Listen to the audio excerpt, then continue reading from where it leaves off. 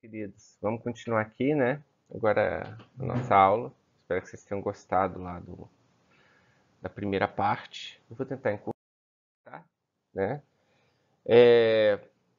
Minha cara tapando esse negócio, paciência. A gente vai aqui falar de um assunto que a gente fala de, de estrutura, né? De neuroanatomia, etc. A gente não pode se, se furar de de explicar um pouquinho sobre a organização dos circuitos corticais. O córtex é, é uma camada né, de substância cinzenta, ou seja, corpos de neurônios com micro, microcircuitos, assim, é, axônios não melinizados, ou seja, circuitos com fibras não melinizadas. Né? É exatamente o processador do cérebro. Enquanto que a substância branca é formada basicamente por axônios melinizados, né? Que é, que é o conecta esses circuitos, né? Organizando assim a, né, a, a anatomia funcional do cérebro. Mas o córtex ele é microscopicamente organizado em camadas, seis camadas. Né? Camada 1 a 6, contado a superfície para a profundidade. Né? É, essas camadas tirando camadão que só tem fibra, elas contêm, né, é, predominam nela espécies celulares diferentes. Por exemplo, a camada 3 é uma camada granular, onde, é, na verdade, a camada 4 é uma camada granular, onde você tem mais interneurônios, ou neurônios, neurônios é, é, fazem, que intermediam circuitos locais. Enquanto existem camadas como a camada 5, por exemplo, né, e a camada 3, que tem neurônios que são esses aqui, ó, que são os neurônios piramidais. Né? Isso aqui é um neurônio piramidal. Você tem o corpo, ele tem esse nome exatamente porque o corpo já tem uma forma triangular, né? e ele tem dendritos neste, neste e neste sentido. São os neurônios mais complexos do, do córtex cerebral, né? e geralmente são neurônios de projeção que emitem axônios para longas distâncias. Né? Os neurônios motores corticais são todos neurônios piramidais, por exemplo. Tá? também são os principais neurônios, por causa exatamente porque o dendrito, eles têm um dendrito apical, ou seja, esse aqui, por exemplo, está na camada 5, na profundidade do córtex. Esse dendrito, ele atravessa 3, 4, 5 milímetros do córtex, ele tem uma espessura de uns 5 milímetros, né? ou seja, um fibra muito longa, né? em termos celulares, até a camada 1, onde ele vai produzir colaterais para poder fazer conexões com outras células. Né? É, esses neurospinoidais vão ser as principais células na geração do sinal que a gente capta no, no eletrocefalograma, que a gente vai ver na próxima aula. Né? Agora, o que a gente sabe é que essas camadas elas têm características que vão variar ao longo do cérebro. Né? E essa variação das camadas, principalmente da espessura das camadas, ela foi observada por Brodmann no início do século XX, que devia ser um cara que não tinha muito o que fazer, porque ele teve um trabalho hercúleo de olhar um cérebro humano inteiro no microscópio, provavelmente não, mas vários cérebros humanos, e dividir o cérebro em áreas, chamadas áreas de Brodmann, né? Conforme a espessura, ou seja, as características histológicas desse, desse córtex. Né?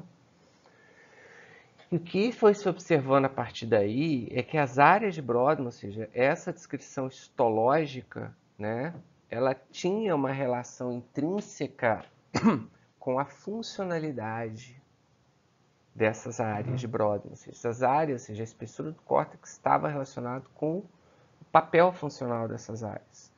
Então, exemplo, a área 17, por exemplo, que é o córtex hospital, chamado córtex hospital primário, córtex visual primário, é uma parte do córtex extremamente complexa, talvez o córtex primário mais complexo de todos, que recebe os sinais do sistema visual. Né? E, por exemplo, existe essa área aqui, ó, que é a área 4 de Brodmann, que ela basicamente delimita córtex motor primário, que é o córtex aonde axons estão os neurônios, né, que vão formar a primeira via descendente com as informações, né, sobre os padrões, sobre os, sobre os comportamentos motores. Vocês viram na parte 1 da aula, né, que o sistema de produção, que são os núcleos da base, mandam a informação para o córtex motor, ou seja, para a direção, e ela que decide jogar isso para baixo, via tálamo e desce, né, do chamado, que a gente chama de trato piramidal, né, efeito de neurônios piramidais, que vai descer para poder ser, ser processado diretamente na medula, para ser transferido para informação para motos neurônios e assim a gente conseguir produzir os nossos comportamentos motores, né? Então, é, a, a, a, a, anatomia histológica do cérebro, estudada de forma hercúlea obsessiva por Odman, nos dá diretamente a assim, você tem uma correlação direta com a atividade dessas áreas. Ou seja, são áreas, se delimitam regiões fisiologicamente distintas.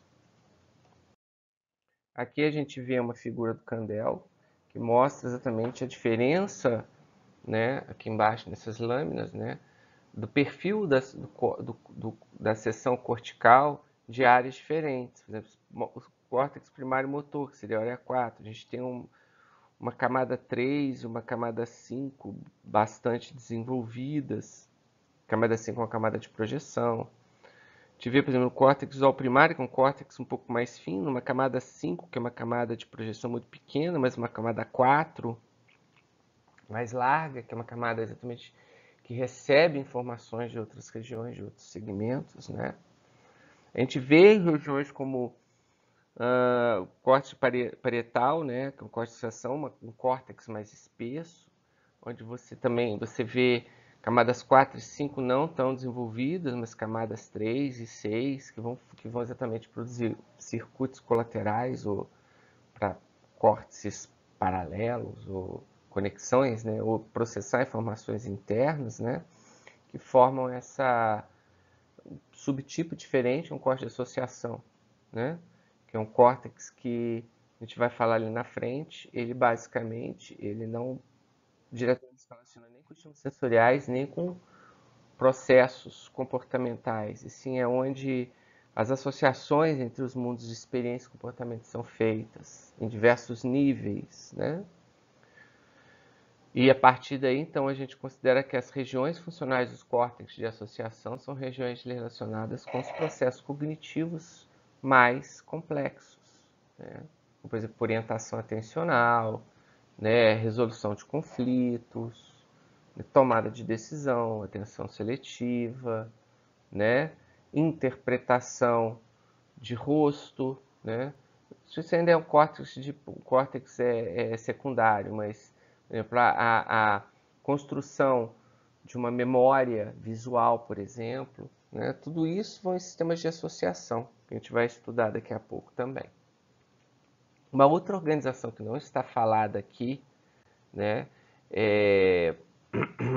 porque ela foi descoberta e ela não é tão bem definida do ponto de vista estrutural, né, mas ela foi, diria nem descoberta, talvez modelada, né, mais para o na década de 80, por aí, mais ou menos, 90, né, que é chamada organização colunar do córtex. Ela inicialmente foi descoberta, né, tanto em camundongos, que são colunas corticais, é, na região digestiva do camundongo, representa as vibiças dele, que chama de Fields. Na década de 60, quando o Rubio e Wilson descobriram a função, ou seja, a organização funcional, fizeram um modelo de organização funcional para o córtex primário, descobriram colunas corticais, ou seja, onde, alguma, onde é, é, funcionalmente as células elas teriam um papel muito parecido, que a gente vai estudar na, na, na aula de sistema sensorial. Né.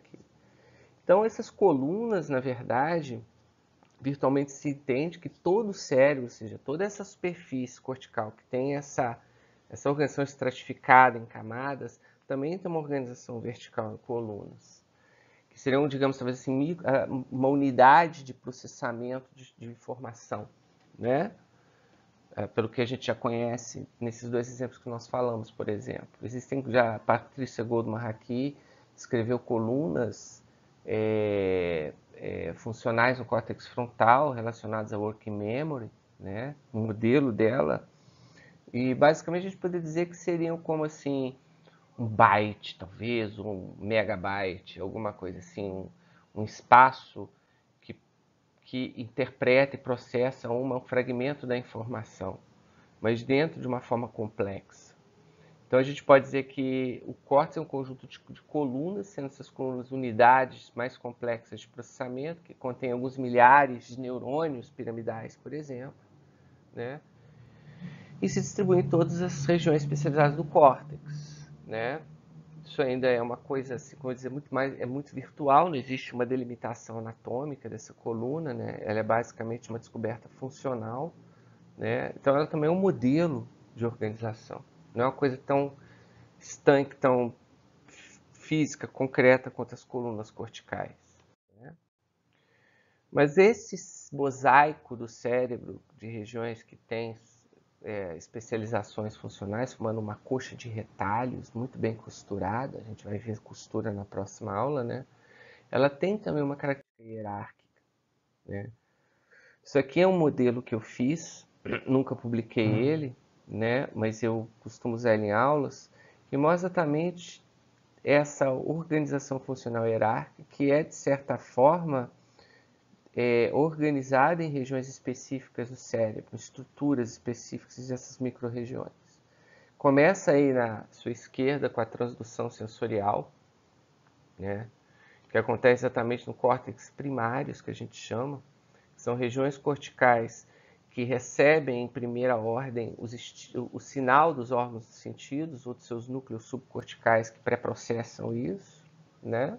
Córtex visual primário, o córtex auditivo primário, córtex somissensorial primário, são os três modelos de estudo que a gente usa na neurociência, né? Essa informação que é primeiro transduzida, o que, que seria transdução? Seria exatamente transformar a qualidade dela de um princípio físico de uma ordem física, onda eletromagnética, vibração sonora, para algum tipo de código neural, que nesse primeiro, nessa primeira ordem, ele é muito topográfico, ainda a gente vai entender isso daqui a pouco. Depois da transição sensorial, a gente poderia falar na representação da percepção, representação perceptual. Outras regiões chamadas secundárias, elas vão começar a interpretar essa imagem, criar representações que já são chamadas de perceptos. A gente vai estudar isso em outras aulas daqui para frente. Né? Ou seja, enquanto o córtex visual primário ele processa assim, informação relacionada à forma do objeto, ou seja, basicamente é como se ele projetasse, fosse uma, um painel onde a atividade celular espelhasse o que está no campo visual, tipo assim, olhando para o meu rosto, existiriam células no meu córtex visual que estariam mais ou menos desenhando como, imagina, uma imagem monitor de fósforo, né, fazendo aquele contorno, né, um desenho com atividade de célula, onde cada células seria um pixel dessa tela de fósforo, né, e juntas elas formam uma imagem, e é assim que provavelmente o córtex visual primário funciona mais ou menos. Né?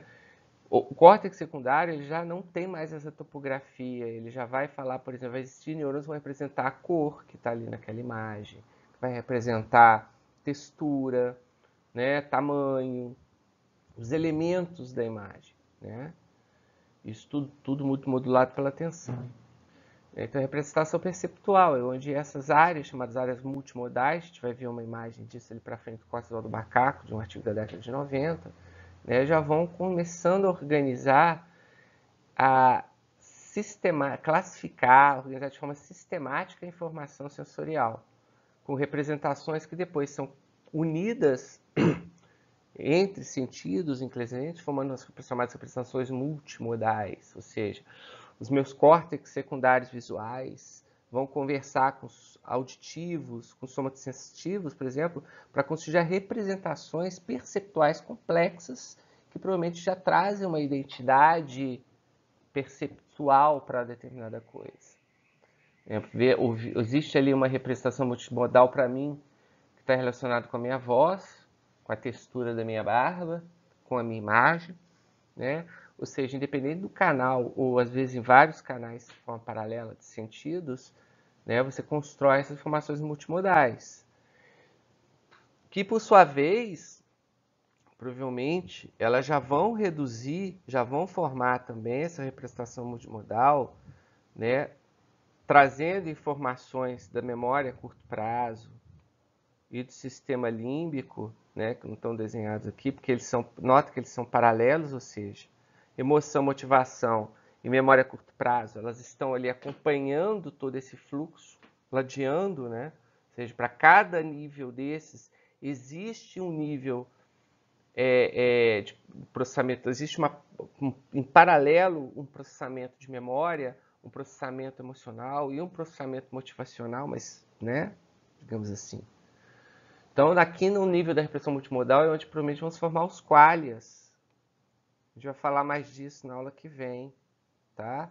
Que já são as representações das minhas experiências, né? Ou seja, não é mais a imagem perceptual do Dimitri, né? O, o, a construção perceptual do Dimitri, é o que, que é a experiência que você tem com o Dimitri, né? Então isso é muito mais complexo simplesmente uma percepção. Isso é já uma construção que envolve afetos e uma história. Essas representações aqui, né, estão todas no cérebro posterior. Então daqui para frente começa o cérebro anterior, ó, né? Que é o cérebro que, é o, que já dentro da, da intimidade do córtex frontal, por exemplo, onde a gente vai ter a, a representação do pensamento, que é uma, provavelmente uma produção linguística, e a partir do pensamento você constrói um plano de comportamento, ou seja, você pensou em alguma coisa e vai decidir o que fazer. Aqui a, a motivação começa a funcionar de forma mais intensa, e é aqui que ela funciona mesmo, você não tem muita motivação na percepção em si. Aí você vai estabelecer programas motores, inclusive nas estruturas subcorticais, nos gânglios da base, né, que vão ter uma representação motora no seu córtex motor primário, né, que por sua vez vão gerar uma atividade motora na sua periferia. Essa é a hierarquia dos processos cognitivos, da função do, do cérebro, ladeada pela memória, de um lado, que é o hipocampo, produzindo a memória curto, controlando, gerenciando as memórias a curto prazo e longo prazo, de certa forma, e de outras emoções e motivações, que são duas faces do mesmo sistema, a gente vai ver isso também mais para frente. Tudo isso aqui modulado, né? lembra da aula de neurotransmissores, pelos sistemas monominérgicos. Né? A gente vai ter atenção modulando isso, né? É, ativação ou hipoativação desses processos, principalmente no nível de emoção, motivação, memória, né? e excitação e atenção, é que esses sistemas vão funcionar modulando toda essa cadeia hierárquica, que está muito linear, está muito simplificada, robotizada, mas é para ser didático, para vocês entenderem os níveis desse processamento. Né?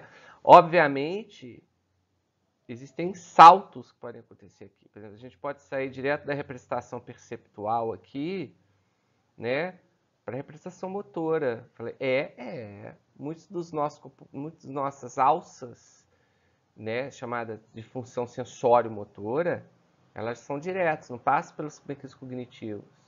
Quando o cara está jogando tênis, por exemplo, ele reage à bolinha muito antes da sua consciência estar elaborando um significado, uma experiência subjetiva para aquilo. Né? Então existem alças diretos, ou seja, de você sai de um córtex é, sensorial e vai direto para o córtex motor, sem passar às vezes por plano, por nada, porque tudo isso está muito subcorticalizado também. Então a gente já pode fazer isso, a gente pode desenvolver esse tipo de é, atalhos para dinamizar os comportamentos. Né? E isso é realmente uh, um processo que filogeneticamente evoluiu. Posso dizer assim, que os mamíferos mais primitivos, que tinham neocórtex, provavelmente eles só tinham a integração sensório-motora deles era muito básica, sem mecanismos cognitivos muito, muito sofisticados, que pudesse falar que esse bicho tinha experiências complexas, né, ou planos mirabolantes para os seus comportamentos, mesmo que sejam decisões que a gente viu, né? É, o que é, e, e, é interessante que mostra também que existe um, uma verdadeira filogênese, a gente vai ver isso no próximo slide, que essas áreas em, em mamíferos mais primitivos primárias têm um, ocupam um espaço é, é, relativo maior do que as áreas secundárias. Aqui no cérebro humano, a gente observa que por cores, né? Essas cores mais intensas aqui, ó, mostram a região do cérebro destinada aos córtex primários, que são esses córtex que vão primeiro transduzir a informação sensorial e fazer o, o digamos, a representação motora para ser efetivada lá no, no, na periferia, via medula, né? É, são uma região pequena relativamente, talvez 15% do córtex seja ocupado por regiões motoras. As regiões secundárias estão em cores mais leves, vocês estão vendo aqui, que seria região, as regiões visuais secundárias, unimodais. Aqui é a sensorial. Aqui as regiões motoras secundárias, né? formando assim, talvez ocupando menos de 30% do cérebro. Então, posso dizer aí que 50%, 60% do, da superfície cortical ou mais é essa região branca, que são os córtex de associação, né? Aqui eu tenho córtex de associação, o cipo parietal, que ainda é um córtex, entre aspas, é, relacionado às experiências, que integra as informações sensoriais desses, três canais para formar interpretações, representações multimodais, por exemplo. Como eu disse, né, aqui a gente tem o ser humano mostrando esses, essas, essa proporcionalidade entre regiões primárias, secundárias e de associação. Né? A gente tem essas mesmas estruturas em duas outras espécies. Aqui no macaco, quando você falou macaque, macaque, né? é, o, é um tipo, é um pré-ape. Ape é o chimpanzé, orangotango e gorila. Né? São espécies primatas como o macaco prego, que não são tão sofisticadas, não são antropoides, né? não são não são apes, não são é, primatas é, é, de grande porte que têm assim, uma similaridade não só física, quanto também comportamental muito grande com o homem. Então, a gente observa cada cor aí, né, é, é uma região, assim, por exemplo, essa cor, a gente está aqui na, basicamente falando de estruturas somatosensitivas e motoras, aqui no ser humano, né, a cor, aqui essa cor verdinha, representa o córtex somatosensitivo secundário, né, aqui o córtex visual primário, né? Aqui a re, os, o região somossensitiva, corte somossensorial primário e motor primário. Né? Olha tamanho, assim, a proporção que esse córtex ocupa no cérebro humano. Observa o que ele ocupa no cérebro do rato. Ou seja, o cérebro do rato é basicamente córtex primário. Olha aqui, essas cores aqui. O laranja, esse rosinha e esse roxo. São os córtex primários visual, somossensorial e motor seja, a cognição do camundongo é muito, é muito limitada em comparação com a cognição humana. As associações que ele faz, enfim, ele é basicamente alça de comportamento sensório motor. Uma cognição bem mais simples. Né? O macaco a gente já vê que, é, que já é um cérebro extremamente mais sofisticado, né? Ele ainda as regiões de associação com uma proporção menor do cérebro em relação às regiões primárias.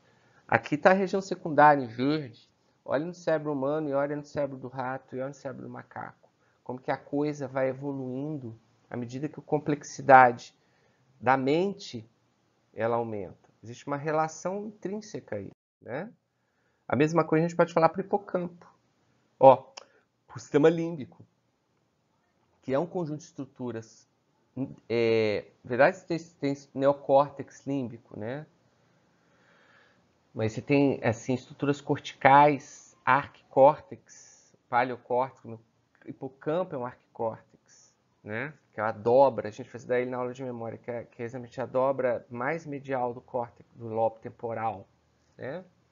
Ele é um arquicórtex associado ao, ao, ao giro parahipocampal, né? A córtex, ao córtex é, como é que chama, gente? Ao, ao córtex piriforme, olfativo, né?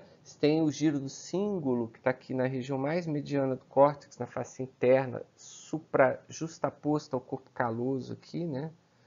né? Que também faz parte do sistema límbico. Mas essas estruturas que estão coloridas aqui são basicamente o arquicórtex, o hipocampo e estruturas subcorticais, né? E diencefálicas na sua grande maioria, mostrando a proporção dessas estruturas no cérebro humano, no camundongo em B, né?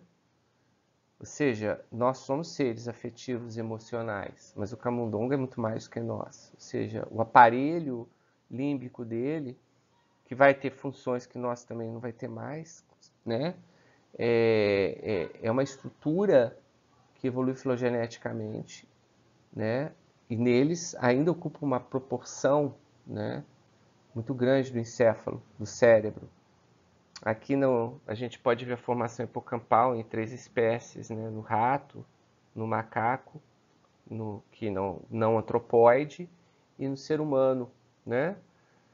mostrando a, a é o córtex entorrinal, lembrei o nome dele, que, tá, que liga, é, é um córtex associativo, é um córtex secundário do sistema olfativo, que é extremamente primitivo, o olfato é o nosso sentido mais primitivo, né? Tanto que até em filme, quando você vê alguém no estado animalizado, ele fica mais olfativo, né? Aliás, durante nossa, nossa vida límbica, no sexo, por exemplo, o olfato, o paladar tem um papel muito mais preponderante do que a audição, por exemplo. Né? Até para os feromônios, que nós ainda somos sensíveis a eles. A gente observa o sistema límbico, que a gente vai estudar com mais detalhes que é o conjunto de estruturas relacionadas às nossas produções emocionais, na verdade, relacionadas à nossa homeostase comportamental, que seria um termo mais técnico, que eu acho que seria até um termo melhor para emoção, né? ele também tem essa, essa desproporcionalidade entre mamíferos mais antigos, mais primitivos e, e, o ser humano, que é o mamífero mais moderno que a gente tem. Né? E essas estruturas, aí a gente está vendo um esquema vocês estão vendo aí à direita, parece, parece uma placa de circuito, esquema de placa de circuito de televisão, de computador, né? Mas é, mas isso é um, uma placa de circuito cerebral. Exatamente o cérebro do macaco, né? Que você observa à direita, à esquerda, o córtex dele totalmente aberto, né? E você vê essas divisões aí, ó, numeradas, são áreas de Brodmann, tá? Do macaco. Em cor, estão regiões relacionadas com, com a fisiologia visual, né? V1 é a região visual primária, é o córtex visual primário. Né? Essas estruturas aqui ela está montada no cérebro, né? dobrada, aqui ela está esticada, aqui você tem uma visão medial e aqui lateral do cérebro. E aqui está o esquema de circuito, ou seja, cada cor dessas está relacionada aqui nesse circuito. E essas linhas mostram exatamente a, as conexões córtico-corticais via substância branca entre essas estruturas. E cada pedacinho desse é uma unidade funcional, ou seja, um pequeno processador de algum tipo de informação visual, cor, textura, é, é, tamanho, relação, por exemplo, espacial, né, posição em relação ao meu corpo e um monte de coisas, tanto do nível da, da, assim, da dimensão de onde essa imagem está, esse elemento, quanto do que ele é. A gente vai estudar isso na aula de sistema visual. Né? Então, esse é um circuito para vocês verem a complexidade da coisa. Isso aqui é muito básico, porque eu estou analisando um aspecto mesoscópico, ou seja, eu, na, na década de 90, quando se estudava, a gente estava nessa fase de estudo, ou seja, neuroanatômico funcional, se conhecia, sabia que cada região fazia mas não se tinha a menor ideia de como ela fazia isso. A gente tem uma ideia mais vaga, mas a gente está começando a chegar mais perto de como elas fazem isso, né? Então, ou seja, a gente estava no nível macroscópico, ou seja, eu conhecia a placa do circuito, mas não, conseguia, não conhecia os processadorzinhos que funcionavam nesse circuito. Mas dá para a gente entender a complexidade disso tudo, né? É... E todo esse circuito que você viu na, na, no slide é, anterior, e a gente tem aludido desde o início desse, dessa parte da aula, ele tem uma organização hierárquica. Córtex primário, córtex é, é, de, é, unimodal, ou seja, é, secundário, e depois os córtex poli, polimodais. E essa figura que está aqui exatamente trazendo para a gente né, essa divisão do cérebro anterior e posterior, que aqui também existe, mas eu juro, quando eu pus no nosso livro de fisiologia, gente, eu não conhecia essa imagem aí. Mostra exatamente como que essa relação, ou seja, a gente tem uma hierarquia que tem uma, que tem uma alça completa que faz isso aqui na informação, né? Ou seja, você, que seria, por exemplo, o nosso comportamento consciente de decisão lá da aula 2 mais complexo, né? Você vê assim um, contexto de, de, de estímulos sensoriais que produzem uma experiência relacionada a emoções, motivações e memórias, né? Que é levada a um nível a um nível sofisticado via pensamento para você tomar suas decisões econômicas e a partir daí você gerar todo um plano de resposta àquilo até chegar no comportamento motor final, né? Isso aí é, é, é o supra-sumo das potencialidades das faculdades cerebrais humanas.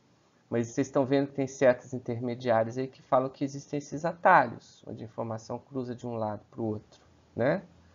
E esses atalhos né, então, podem estar descritos aqui nos níveis né, de circuitos. Então, a gente tem circuitos primários, ou seja, onde um córtex primário se conecta direto com o córtex motor, um córtex relacionado ao comportamento.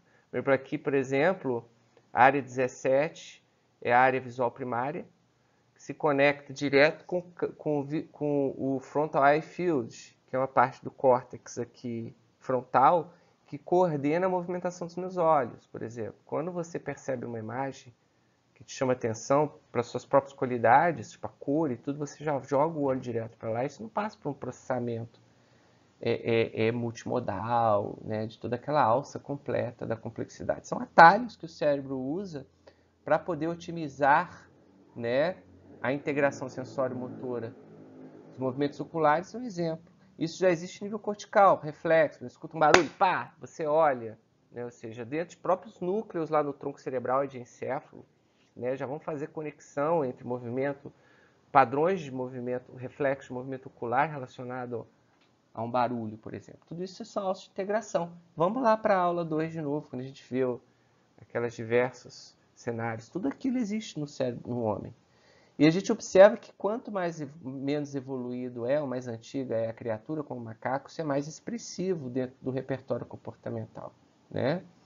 Então a gente tem, por exemplo, ligação entre córtex de sucessão unibodal. Isso aqui, por exemplo, seria dos nossos córtices sensorial, ou poderia ser o visual posterior, né, o parietal posterior, com a região premotora, que planeja o movimento, por exemplo, seria o uma alça de comportamento, por exemplo, de associação sensório-motora que o tênis, que o cara, que o tenista usa.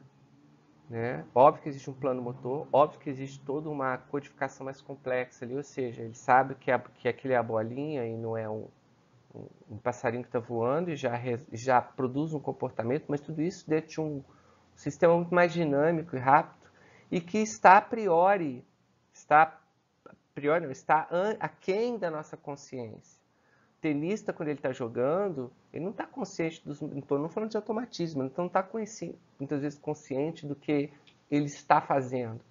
Né? Ou seja, a, a, experimentos já foram feitos. Alguns milissegundos depois dele bater na bola, é que ele, tem, ele processa toda a consciência do comportamento dele. Mas ele já bateu na bola, a bola já foi para uma determinada direção né, do, do, do campo adversário e já fez o papel dela. E tudo isso foi processado antes da consciência saber que estava acontecendo. E aqui a gente tem né, as, as alças são multimodal, que já vão envolver diversas estruturas, as alças mais complexas, vão ver estruturas límbicas e tudo, que já vão dar para a gente é, esse comportamento mais complexo. Né? Por exemplo, a área inferotemporal, por exemplo, é uma área que percebe, é, já, já te dá assim representações mais complexas da, da imagem, né? tipo, me diz o que aquilo é, tipo, já o rosto, por exemplo, se já tá, a representação do rosto já está ali nessa região, por exemplo, já manda para regiões associativas frontais, já vão ter comportamentos mais complexos, e assim toda essa cadeia acontece. Né? E, enfim, Né? Uma, isso aqui a gente está mostrando nesse slide essa heterogeneidade funcional com alguns exemplos reais via em experimentos que utilizam a ressonância funcional, magnética funcional, para coleta de informações sobre atividade cerebral. A gente está vendo aí na, na, na, no painel de cima aqui, né? É, um mosaico de regiões que estão sendo ativadas numa tarefa de tomada de decisão. Né? Por exemplo, se dá duas cartas para o sujeito, o sujeito tem que escolher qual carta ele quer. O, se tem duas pistas, ele tem que escolher qual das duas ele seleciona para a bolinha ir naquela direção. Ou até mesmo né, decidir, sim, decidir é, se ele aperta o, botão da direita ou da esquerda em relação ao que ele está vendo na imagem, se, por exemplo, uma seta que aponta para a direita ou a esquerda, se tem interferência de flancos, né? ou seja, estímulos que estão interferindo naquele processo de percepção. Então, aqui a gente tem estudo mostrando aqui todas essas, esses, essas atividades dentro do córtex, dentro do cérebro anterior. Né? Aí eu vario, tenho aqui um padrão de uma tarefa de tomada de decisão, de resolução de conflito, por exemplo é, a pessoa resolução de uma tarefa de, de é, Q tag, ou seja, o cara tem que me dar uma seta, me falar para assim, ele vê uma seta na tela e ele tem que me dizer com as teclas, do, apertando a tecla direita e esquerda do, do teclado, se aquela seta está voltada para a direita ou para a esquerda. É um exemplo. Aí eu coloco dois flancos com setas que podem estar em direções opostas, que vão confundir a pessoa, ele vai ter que resolver aquele conflito. Aí ele ativa, por exemplo, o giro do símbolo anterior uma regiãozinha do cérebro que a gente vai estudar ainda em alguns momentos desse curso, né? que é uma região relacionada com resolução de conflito, que também está relacionada a certas patologias, como transtorno obsessivo compulsivo, é um defeito dessa região, por exemplo, em alguns modelos neuro, psicofisiológicos que a gente tem.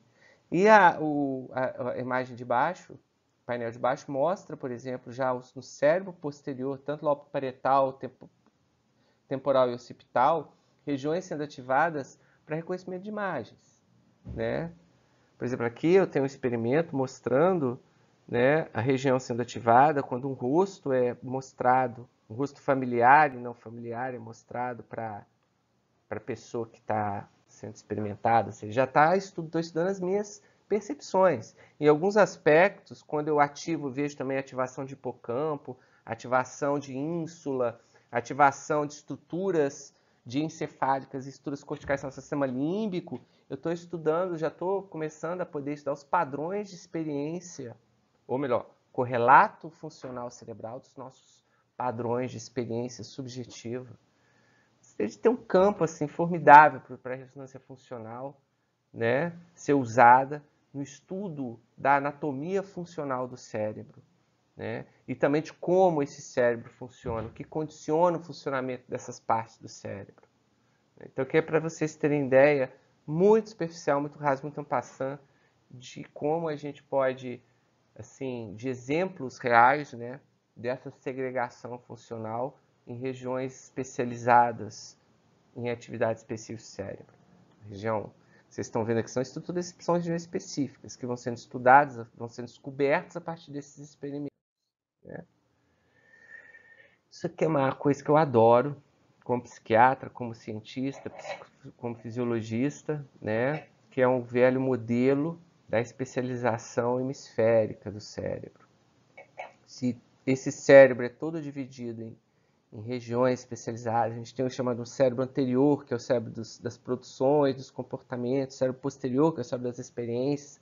A gente também tem os nossos hemisférios, isso não é uma coisa unanimemente aceita, porque isso não foi definitivamente demonstrado, mas é uma tese muito bem consolidada na neurociência de que os dois hemisférios eles respondem, entendeu, pelas duas, pelas, pelas duas, pelos dois, pelos dois é, pilares que formam a personalidade, a individualidade e a subjetividade humanas.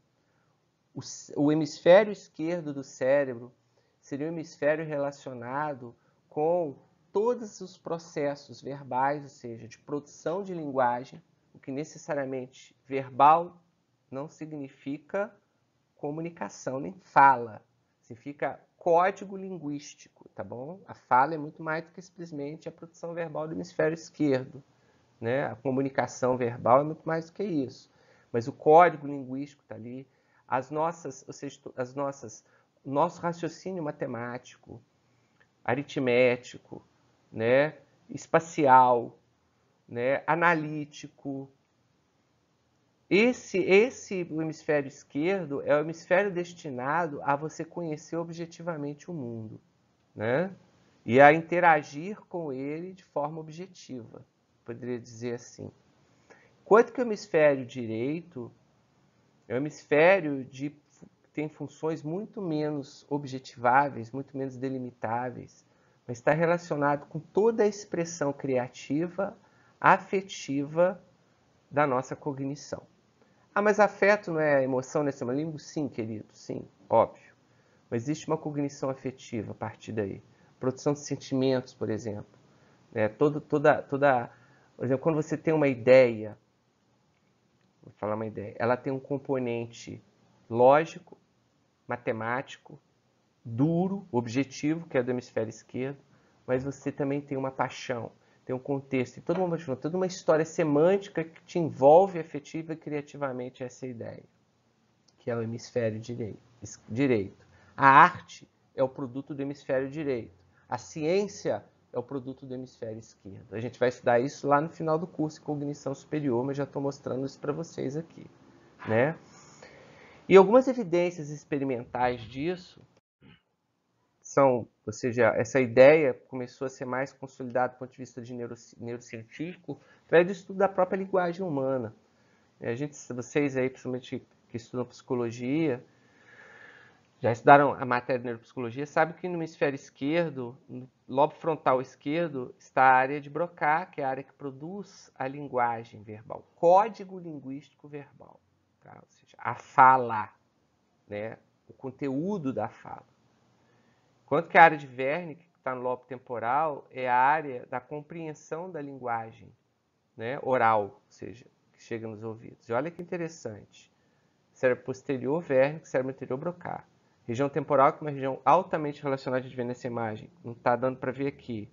Mas a regi aqui no lobo temporal, nessa, nessa região aqui, está o córtex auditivo, que é a área de Wernicke, né?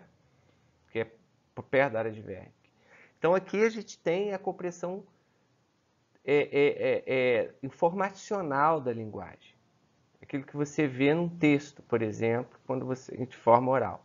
Mas no hemisfério direito, a gente sabe que nas mesmas regiões existem estruturas que vão, por exemplo, no caso da região do córtex frontal direito, existe uma, uma estrutura é, homóloga à área de Broca, que na verdade ela é capaz de produzir a prosódia da voz. Sem essa área você falaria igual um robô.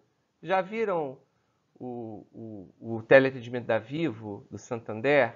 Como é? Oi, tudo bom? Eu sou fulano, do Santander, ou da Vivo. Você me ligou por quê? Se deu o quê? Prosódia para essa voz. E ela, isso foi feito para quê? Para que, o, que o, o, o, o, cliente ele sentisse, eu coloquei porque eu ia falar o, o cara que está escutando, né? Ele sinta que está interagindo com algo humanoide, ou seja, tem uma interação humanizada com o serviço eletrônico deles, né? E realmente funciona, é muito interessante. Então, seja a prosódia, a música, o afeto, a humanidade, a subjetividade da linguagem, da produção, está no hemisfério direito. Enquanto que a área análoga de Wernicke no lobo temporal direito, ele vai perceber exatamente esse nuance da prosódia, da musicalidade, da intenção, né? E uma coisa muito interessante que a gente vai ver na aula de cognição superior é que, por exemplo, as pessoas com Asperger, que é considerado um, um, uma, um, assim, uma, um, neuro, uma, um neurotipo né, não tem uma competência, uma habilidade afetiva social muito boa. Vários trabalhos produzidos aqui na Fiocruz pela gente mostram que nessas pessoas com síndrome de Asperger, o hemisfério esquerdo ele é muito mais funcionante do que o hemisfério direito. Isso explica né, se é fisiológico demonstrado, isso reforça a teoria da especialização hemisférica. Ou seja, as capacidades criativas, afetivas e, por isso, da nossa interação social subjetiva, intersubjetiva, é, é limitada nas pessoas com Asperger, o que produz toda a problemática deles. Mas eles são pessoas intelectualmente perfeitas, né? codificam a linguagem muito bem e produzem raciocínios lógicos de maneira perfeita muito melhor do que a média das pessoas. Agora, isso também leva à tese de que essas, é, existe dentro da diversidade humana, né, as pessoas podem ter especializações hemisféricas distintas. Eu, por exemplo, eu acho que o meu hemisfério direito é muito mais dominante do que o esquerdo. Isso tem relação, inclusive, com a dominância manual. Eu sou canhoto, ou seja, meu, a, a motricidade manual ela é predominantemente no hemisfério cerebral direito, né? Porque isso tem um cruzamento intra, né, que estuda em neuroanatomia, né? Lobes, hemisfério esquerdo, direito, controla o lado esquerdo do meu corpo. Né? É, e isso pode ser variável em toda, em toda a humanidade, né? explicando por que é, é, é, é, ou seja, você tem pessoas mais afetivas ou mais objetivas e analíticas. Inclusive, isso é, é existe uma teoria da, da, da, da, sexualidade cerebral, em termos de, não de, de sexo, mas de, de, masculino e feminino, formulada por Baron Cohen, né, que diz que no, no feminino predominaria o hemisfério direito e no masculino o hemisfério esquerdo. Eu não concordo muito com isso, não. Não no homem e na mulher, mas realmente se eu pudesse talvez nuclear dois, dois padrões de, de, de subjetividade, propriedades da subjetividade, como masculino e feminino, eu até concordaria. De repente, cada pessoa vai ter o seu, a sua dose de direito esquerdo, masculino e feminino, né? Enfim né? E, e aqui a gente está chegando no final da aula já, acho que vai ter mais uma hora, não vai ter jeito, seja um total de duas horas e meia de falatório. Desculpem, mas é um assunto complexo. Eu espero que outras aulas possam ser mais curtas, por isso que inclusive divido em duas, né? A gente vai falar da organização, estou todo descabelado, cruz credo, da organização desse, desse das, das, regi das regiões, principalmente primárias e subcorticais, em mapas topográficos ou mapas corticais. Tá? O que vocês estão vendo aí é uma imagem clássica, que vocês já estudaram isso talvez até no colégio, no ensino médio, que é chamado de homúnculos de Penfield. Né? O que, que são esses homúnculos? Penfield era um neurocirurgião e fisiologista que no tempo que se podia fazer isso, né, durante a neurocirurgia, ele estimulava, ele começou a brincar de estimular o córtex para exatamente estudar a fisiologia dessas áreas especializadas do córtex, e ele descobriu que o giro pré-central e pós-central, né, existia uma representação topográfica do corpo na superfície desses giros, né, o Reusching. No caso do homúnculo motor, que é qual dos dois é o motor? Eu não me lembro. É esse aqui que é o motor. Esse é o motor. Tá? O homúnculo motor, tá vendo como ele forma? Aqui tá, olha só esse bichinho aqui, que seria uma representação 3D, ou seja, o homúnculo em si, mostra que o que, que significa isso? Significa que as células dessa parte do córtex motor controlam os movimentos da mão. Né? Essas células aqui do rosto do córtex motor controla a movimentação dessa parte do rosto. O rosto é uma estrutura que faz movimentos muito complexos. A nossa expressão afetiva envolve centenas, não sei, mas muitos músculos. E ela é extremamente plástica, extremamente refinada, igual o movimento da mão, né? Agora, o movimento do meu braço é uma coisa mais imbecil, né? O movimento da minha bunda, o movimento do meu, meu, meu braço, né? do meu pé, então, olha que as outras regiões do corpo, ou seja, tirando mão e rosto, todas é somente essa parte da superfície cortical motora controla os músculos do resto do meu corpo. O que, que significa para gente? Significa que quanto mais refinado for o comportamento executado pela parte do corpo, mais neurônios são necessários para processar aquelas informações. Então, ou seja, a superfície cortical é diretamente proporcional, ou seja, a quantidade de neurônios, a quantidade de córtex é diretamente proporcional né, à sofisticação daquela parte do meu corpo. E o mesmo vale para o homúnculo sensorial, que está aqui do outro lado. A mão, né, a face, somente essa parte da face aqui, são as regiões com a nossa maior capacidade de tato discriminatório. Existe um experimento fantástico que vocês podem fazer em casa com o irmão de vocês, né, ou com a esposa, com quem se, se vocês tiverem um compasso, aquele compasso de escola de desenhar bolinha, abre o compasso assim, mais ou menos deixando uns 3 centímetros entre as duas pontas. Encosta aquilo, da, manda a pessoa fechar o olho, ela não vê o compasso, quanto se abriu e fechou. Manda a pessoa, põe na mão e manda a pessoa dizer quantos pontos ela está sentindo. Ela fala dois. Aí você coloca nas costas, a pessoa fala dois. Aí você fecha o compasso até meio, mais ou menos um meio centímetro entre as duas pontas e repete o procedimento. Você vai ver que na mão a pessoa não vai ter dificuldade de falar dois, mas nas costas ela não vai saber. Ela vai dizer o que é um e o que não consegue se definir, porque a capacidade de discriminação do tato é muito maior nas mãos do que nas costas e na face também, né?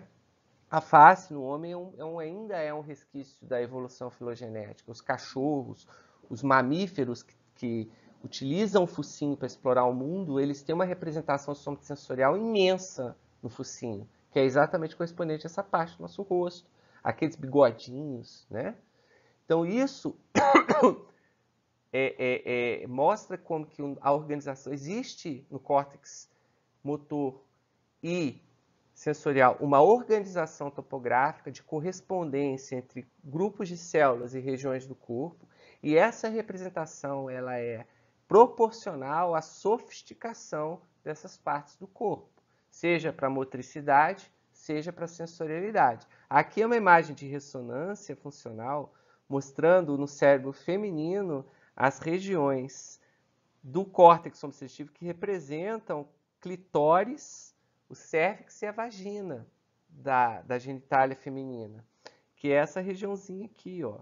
Eu acho até grandinha, viu? Ou seja, a mulher tem um tato epicrítico bom lá na pepequinha dela. Né? De repente ela consegue, com o compasso, descobrir que meio milímetro são dois ou um ponto só. Se vocês quiserem, façam essa experiência.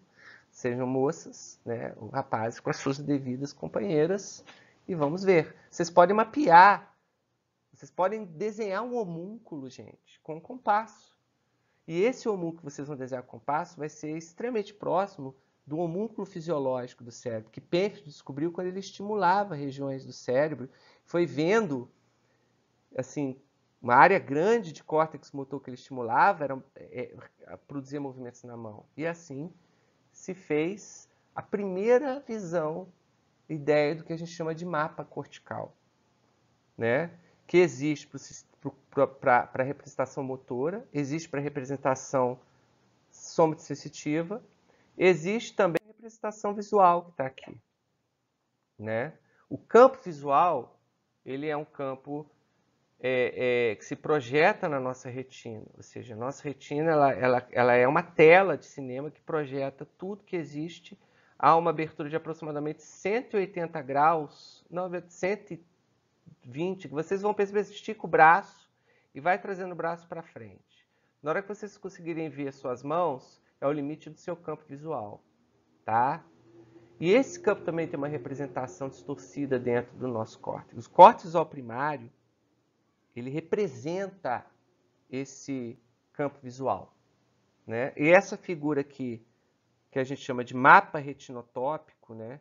Por quê? Porque exatamente a correspondência entre superfície de retina e superfície de córtex visual que está transduzindo a informação daquela parte da retina é esse. Aqui a gente tem os setores, a retina dividida em 12 setores, o campo visual dividido em 12 setores, e aqui as cores correspondentes mostrando a, quantidade de superfície de córtex visual primário utilizada para representar ou transduzir as informações contidas nessas regiões. A gente vai estudar isso melhor na aula de sistema visual. A gente vai ver isso. Então é como se você visse, ou seja, o córtex é, parece com uma lente convexa. Já viram a cara de vocês nas costas de uma colher, nas costas de uma concha de feijão, né? Que a, o meio fica ampliado e a borda fica fininha, fica pequenininha, exatamente é assim, é a distorção, né? Que seria a projeção no nosso no visual da distorção da, do campo visual dentro do córtex visual primário. Isso tem um sentido, é óbvio que tem. A parte mais central, que é essa vermelhinha na imagem, que é a fóvea, ela é destinada né, a observar o mundo em detalhes. Tanto que quando você quer ver alguma coisa, você fixa o olhar, né? você foca o olhar ali. Você está lá vendo que a gente chama até na, na, na, na fisiologia de foveando a imagem. Você está jogando a fóvea ali. Que a fóvea, apesar de ter esse pontinho, esse um pontinho no meio do campo visual, né? Ela representa 50% das células do córtex visual, né, estão ali para processar as informações da fóvea, mostrando que existe essa distorção também. E na lateralidade, você não tem uma discriminação da, de forma. Procura aí, faz outra experiência, pega dois dedos, coloca na frente, ou o próprio compasso que vocês usaram, né? Pede para alguém abrir o compasso, e coloca o compasso aqui na frente e vê, você vai ver qual a distância mínima que você consegue ver, distinguir as duas pontas do compasso visualmente, jogando para a periferia do seu campo visual. Isso é exame médico. A pessoa que tem glaucoma, ela começa a perder periferia. E ela não percebe. Ela não percebe que está perdendo a periferia da visão. Porque essa parte periférica, ela é muito útil para a gente perceber que alguma coisa se moveu das nossas redondezas. Tanto que as células que estão ali são células mais propícias para perceber movimento. Mas a discriminação é muito baixa. O que a gente está vendo à direita é o mapa, isso é córtex de macaco, tá? das estrias. Preto é o olho direito, branco é o olho esquerdo, numa das, num dos, dos, dos córtex dos hemisférios. Né? E essa ponta aqui, ó, você está vendo em MC é,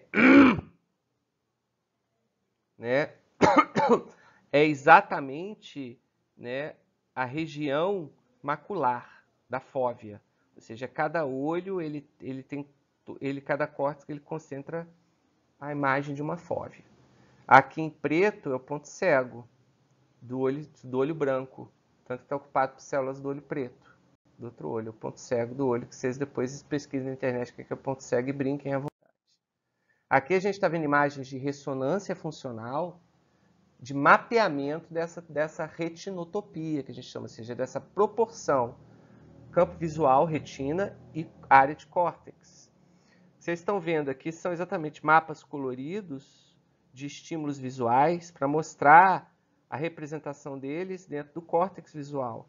Né? Aqui embaixo você está vendo o cérebro, no cérebro córtex visual, primário, V1, V2, V3, também tem um secundário aqui também, parte secundário. E aqui você tem ele esticado, mostrando essa, essa topografia né, do, do campo visual dentro do córtex aqui. Ó. Aqui, ó.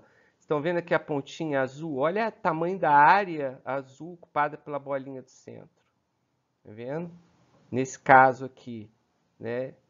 E aí vocês veem aqui, no caso de são, se usou estímulos radiais, tá vendo? Para a gente ver, por exemplo, a, a, a, toda, a gente consegue mapear tridimensionalmente o campo visual ali. A gente vê isso de novo também no mapa radial, né? Então, isso é para vocês observarem como é que funciona. E essa, se não me engano, é a última, é a última slide da aula, que mostra os mapas tonotópicos. Terceiro tipo de, de mapa cortical. À direita, o que, que vocês estão vendo? Eu não vou dar uma aula específica de sistema auditivo, mas vocês podem rever isso na, nas fisiologias de vocês, na internet. A, a cóclea é o órgão é, é onde você tem a transdução da onda mecânica do som em impulsos, em, seja, em potenciais de ação. É o órgão transdutor, igual a retina é o órgão transdutor de luz, os corpúsculos da pele é o órgão transdutor dos estímulos físicos que tocam a gente. É, essa membrana timpânica, é, essa, esse órgão transdutor, né, ou seja, a cóclea é enroladinha. Se eu esticar, ela vira uma coisa comprida, né? Pois é, ali dentro tem uma coisa chamada membrana timpânica, né, o rampa timpânica, que é, na verdade, uma membrana que tem uma espessura variável. Né? Ela é grossa numa, na base e fininha né, lá e vai sendo cada vez mais fininha lá na ponta, tá bom? E essa membrana, ou seja, quando entra um som na cóclea, por ela ser, ter uma espessura variável, ela vai vibrar com uma, né, de, é, é, é, cada parte dela vai vibrar com cada tipo de frequência que chega ali no ouvido. E aqui a gente está vendo isso. Frequências mais graves, como 100 Hz, que seria só... Vibra lá na ponta da rampa timpânica. Né? É, sons agudos, tipo 10 Hz. Vocês escutaram porque eu não fiz som nenhum, mas imagina aquele som bem fininho, bem agudinho, já vibra aqui na base da rampa timpânica. O que a gente está vendo aqui ó, é um timbre complexo, ou seja, um som. O... Esse som é uma conjunção de diversos tipos de frequências combinados, formando o que a gente chama de timbre. Né? E você vai ter várias regiões paralelas da membrana vibrando ao mesmo tempo. E cada região dessa membrana está conectada às células do órgão de corte, tem um cíliozinho. Quando essa parada vibrana vibra, esse cíliozinho vibra também fazendo com que aquele, aquela célula ali do órgão de corte né, dispare potenciais de ação, transduzindo a informação sonora por frequência. Ou seja, a nosso órgão de corte, ele transduz primordialmente frequências diferentes. O que existe lá, vocês estão vendo aqui, ó, low frequency, high frequency.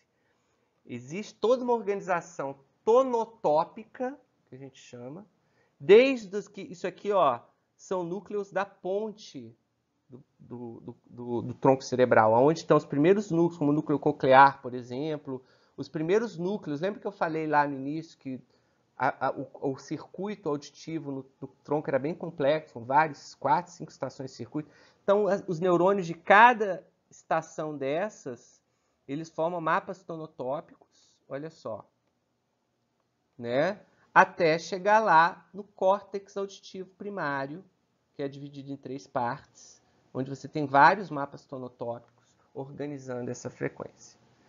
O que acontece, ou seja, é que no momento em que você, isso aqui dentro do córtex visual primário, auditivo primário e, e somocestitivo primário, você tem o que a gente chama de campos receptivos. O que é campo receptivo? Ou CR, né? ou RF no inglês, Receptive Field, são um grupo de células na superfície cortical que transduz ou que representa a menor porção possível de espaço, campo visual, de frequência, né? ou seja, de 10 a 12 Hz. Isso aí é um campo receptivo tonotópico. Região de 5 de 1 um grau, ou seja, de, de raio no meu campo visual. Isso é um campo receptivo visotópico, retinotópico. Né? Ou seja, um, um, espaço de 2 milímetros na minha mão, no meu dedo, eu consigo distinguir se é um campo receptivo somatosensorial. Esses campos receptivos, né, eles variam de tamanho. Né? isso dentro dos próprios córtices, dentro, dentro do corpo, ou seja, o espaço é variável. O campo receptivo de, das, das minhas costas, né, ele vai ser uh, muito maior do que o campo receptivo da minha mão, para poder fazer a distinção entre um, um espaço e outro. Por isso que ocorre essa distorção lá dentro do meu cérebro. Agora, existe também que no córtex visual primário, no auditivo primário, no sensorial primário, é menor porção possível, esses são os menores campos receptivos. Quando você passa esse processamento para estações córtex secundários, dentro daquela hierarquia que eu mostrei para vocês, continuam havendo campos receptivos naquelas células, mas eles vão crescendo. O que vai determinando, ou seja, que cada vez a minha capacidade de resolução topográfica vai diminuindo. a capacidade do meu, do meu, daquele, daquela região do cérebro reconhecer, ou seja, responder a porções diferentes de estímulo vai diminuindo, seja da minha pele, do campo visual ou do, da régua de frequências. Porém, essas células já vão ganhando especialização para classificar esses estímulos. Ou seja, o meu córtex, minha área V5, que é a área de cores, né, ela vai ter um campo receptivo imenso, ou seja, não importa aonde no campo visual a imagem vai aparecer, as mesmas células ali vão estar disparando, que seria talvez isso aqui, ó, esse nível aqui, né, de campo receptivo, né? Porém, aquelas já vão existir células que só vão responder ao amarelo, só vão responder ao azul, só vão responder ao vermelho. Ou seja, vai havendo essa transformação na, na, na, no papel funcional das células. Enquanto nos cortes primários elas formam esses mapas topográficos, seja tonotópico, retinotópico ou somatotópico, nos cortes secundários, esses mapas topográficos já vão sumir. E essas células vão ganhar um papel funcional de representar o que ou onde aquelas coisas estão. Ou seja, vai se começar a formar as nossas representações perceptuais, porque a percepção é exatamente a capacidade do cérebro de classificar o que está sendo transduzido pelos órgãos sentidos. Isto é o Dimitri, isso é uma classificação. Isso aqui é um quadro do tio Bosco, isso aqui é uma classificação. Isso aqui é parede branca, isso é uma classificação. Então as células vão se tornando grandes classificadores. Legal, né? Nunca vocês vão ver isso em aula nenhuma de neurociências, modéstia à parte, né? Então, robô. Acabamos essa aula de neuroanatomia funcional, de a gente inclusive introduzir os mapas corticais, que são uma matéria muito difícil das pessoas compreenderem, mas eu acho que ficou bem explicadinho. E com isso vai facilitar muito a gente estudar, começar a estudar percepção, que vai ser a primeira aula do segundo ciclo. Esse primeiro ciclo do curso, que veio da aula 1 e vai terminar na próxima aula, é um ciclo onde a gente está estudando os paradigmas fundamentais da neurociência. Depois a gente vai começar a estudar as funções, né? Vai estudar percepção, emoção, memória, controle executivo, o que chama de cognição superior, né? motricidade. Onde a gente já vai estudar essas partes do cérebro e a relação entre elas. Ou seja, para vocês chegarem lá, vocês precisam ter todos esses conhecimentos. Para saber o que é um, como é que eu vou ensinar para vocês esse sistema visual se vocês souberem o que é um mapa retinotópico. Agora vocês sabem. Beijo para vocês que eu estou cansado, tá? Tchau.